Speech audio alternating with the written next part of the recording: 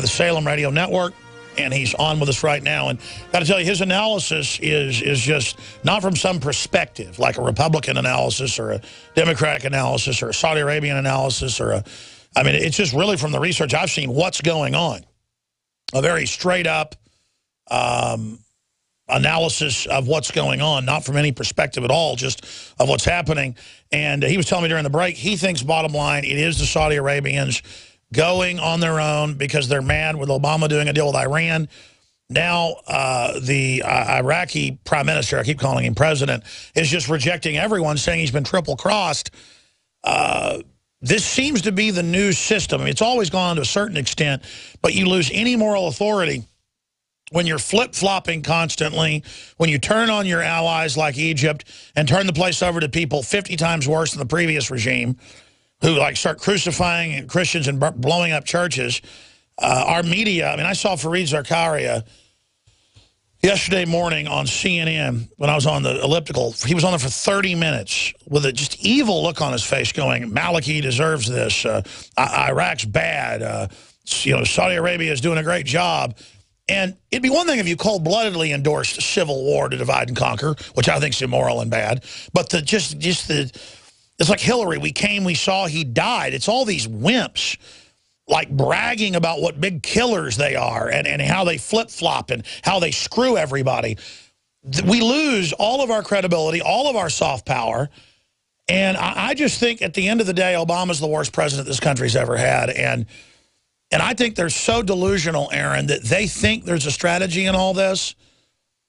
And, and this is the same stuff I've studied history that I've seen other elites basically go insane. And, and, and that's my gestalt of what I see happening. Give me your take on that, and then you were giving me a lot of key stuff during the break. Please share the big picture with folks, where it's going, what you see unfolding.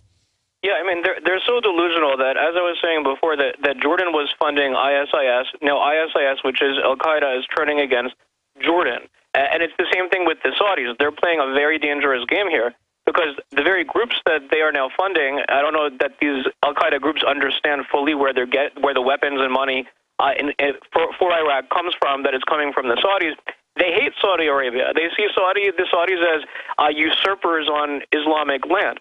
Uh, also, before the break, you mentioned Brzezinski. So uh, I, I want to remind everybody that tied into all of this, the the military doctrine that was used originally to bomb Libya. It's also the military doctrine that Obama has cited if he would ever go to war in Syria is something uh, I'm sure you've talked about it. It's called responsibility to protect, uh, which I've done an enormous amount of, research on. Samantha Power on the uh, on the board of the group that founded Responsibility to Protect. Bottom line of it is that uh, it, according to Responsibility to Protect, any uh, there's there is nation state with a border. Borders don't exist. If, if any country is accused of war crimes or crimes against humanity, the international community can come down, swoop in, and go to war. Uh, and even if later it's proven that there were no war crimes. So I'm mentioning this because uh, tied into all of this actually is that whole uh, access, Brzezinski, uh, international re uh, uh, responsibility to protect. It was actually founded by an organization, or they were one of the founding members is called the International Crisis Group, which is where George Soros sits. And another member, this is why I'm mentioning this, of the International Crisis Group that, again, founded Responsibility to Protect. Their president uh, is one of the architects of it. Uh, it happens to be that uh, one of the main members is also a guy named Thomas Pickering, who was the uh, lead investigator for the Benghazi attacks. So if you look at the weapons to the jihadist insurgents, it, could be that Pickering, with the State Department review, came in to kind of whitewash all of that. that that's just a side note. No, and then you got George Soros floating around in the background, and and they use destabilization as a as a political tool, but. But then they never even stabilize it. it. It looks, I mean, I don't see their strategies, even from their sick perspective, working. That's my point unless the ultimate strategy is, is chaos, is for this is for there to be no strategy, eh, or, or at least for this strategy to be Operation Chaos. Remember, actually, it's called the International Crisis Group. They need a crisis in order to, to push whatever it is ultimately. And, and I'll tell you, I'm here in Israel, and originally, like I said, Israel uh, had no problem with the rebels that were fighting in Syria or in Libya. Uh, but now Israel understands oops, uh, these rebels now have taken over large swaths of territory in Israel's borders and probably in the future in Jordan, probably in the future in Lebanon. Right now, they're fighting very close to the Syria border. I could, I could literally drive there in three hours from where I am right now. So this is incredibly dangerous for Israel, for Jordan, which really is a moderate Arab country. Uh, the Jordanian king, uh, extremely Western oriented, he might be overthrown. And so the larger picture actually is the C word, caliphate. It's yeah. I don't know if we're going there. Uh, I don't know if I, I certainly, uh, like I said before, Al Qaeda is these Islamic jihadist organizations. They have no long-term plan. They have no long-term govern, governing strategy. So I don't know if it will really be achieved, but obviously their goal is sure. no borders. Let me ask you this. What does Obama do when the European, Israeli, and U.S. airliners start getting blown up?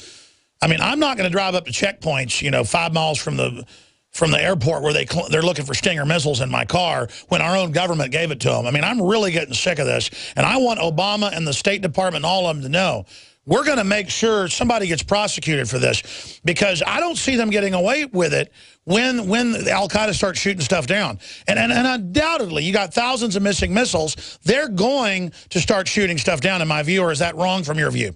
I mean, they're anti-Western. They want to destroy the United States, number one. Number two, they have anti-aircraft missiles. So if they don't use them, it would make absolutely no strategic sense on their part. Uh, but you know, this is this the arming of the rebels, the uh, giving to them in Syria of anti-aircraft missiles. This is Iran Contra times infinity. At least with Iran Contra, they were trading arms to at least try to get some hostages out. In this case, it's for nothing, and in this case, we're talking about extremely extremely serious arms. A- Ambassador Stevens. Yeah, Iran Contra was anti tank missiles, not anti aircraft. Yeah, uh, Ambassador Stevens, people always call him that, Ambassador Stevens, as if he had a political role. But don't forget, he arrived on a, on a, uh, a, a boat uh, in, in the secret of the night to serve as a conduit with the rebels, a.k.a. the jihadists, a.k.a. Uh, individuals connected to Al Qaeda he wasn't just an ambassador; he was also kind of an arms dealer. He was he was working with this whole nexus, and so uh, it, our fate might really be that of Ambassador Chris Stevens. This is what happens when you play with fire. You're not only going to get burned, uh, but Al Qaeda could could, as you just said, and I think it's really only a matter of time, uh, shoot down passenger aircraft, whether here, well, there are plenty of uh, you know U.S. Uh, passenger aircraft that that leave in the Middle East and North Africa, or ultimately in the in the United States. They certainly another problem here. Don't forget, is a lot of foreigners um, from United U.S., U.K., Australia. They've all joined the rebels. We're talking about hundreds of, uh, uh, of them just from Australia and Europe alone. Who have passports. Who have yeah, passports. It, it, exactly. A, it's a disaster. We'll continue to follow it. Uh, Aaron, thank you so much for all the time today, and we'll talk to you on the Nightly News tomorrow. Thank you so much. Sure. Thank you. All right, that's Aaron Klein. I, got, I find no fault with what he says. It's dead on. Straight talk. Shot us straight from Tel Aviv. All right, ladies and gentlemen, we're going to go to this amazing piece that Darrin McBreen put out. Briefly, we have a detox special going with the fluoride shield with all the key components to detox the heavy metals, you name it, with the new Survival Shield X2. Both of them discounted massively. It's over a 30 plus percent discount, and I am putting in my water right now fluoride shield with the new X2. And then I'm going to take, we got a few thousand bottles of this in it. We'll sell out the lung cleanse. And your purchase helps fund this operation. So we appreciate all of your support. Be sure and go to InfoWarsLife.com to find the amazing proprietary products. And be sure to subscribe to the Nightly News so you can see the Nightly News and all the films and more at PrisonPlanet.tv. Here is Darrin McBreen's simply amazing uh, piece that he put together where he nexuses the film network with the current things that are happening. Here it is.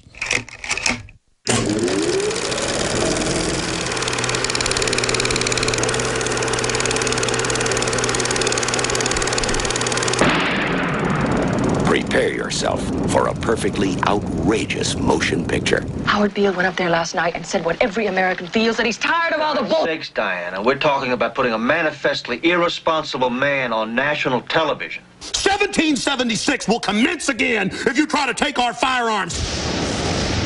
There is no America. There is no democracy. There is only IBM and ITT and AT&T and DuPont, Dow, Union Carbide, and Exxon. Those are the nations of the world today. And you have meddled with the primal forces of nature. And you will atone. Am I getting through to you, Mr. Beale? Why me? Was your own television, dummy. Ladies and gentlemen, the Network News Hour with Howard Beale.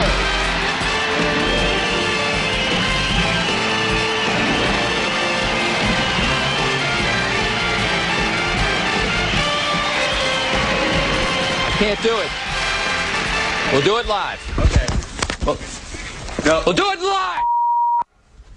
Do it live. I can. I'll write it, and we'll do it live. Thing sucks. What the hell's going on? I don't know. He just said he was going to blow his brains out. That's tomorrow, and that is it for us today. I'm Bill O'Reilly. Thanks again for watching.